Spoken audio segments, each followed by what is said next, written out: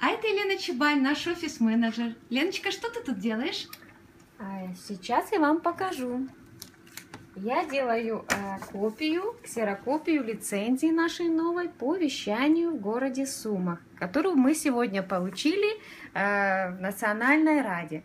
И скоро э, Сумы будут слышать светлое радио.